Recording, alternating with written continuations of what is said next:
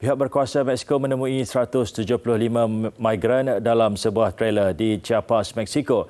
Menurut Institut Migrasi Kebangsaan INM, ia adalah insiden penyelundupan manusia beramai-ramai terbaru yang dikesan di Mexico. Pada awal kejadian, ejen imigresen mendengar jeritan dan dentuman kuat dari dalam trailer terbabit apabila ia berhenti di pusat pemeriksaan di Chiapas. Walaupun pemandu enggan membuka pintu belakang trailer, wajah manusia boleh dilihat melalui lubang pada trailer berkenaan. Kebanyakan migran terbabit berasal dari Guatemala, selain Ecuador, El Salvador, Honduras, Republik Dominikan dan Pakistan. Ia termasuk 28 kanak-kanak bawah umur.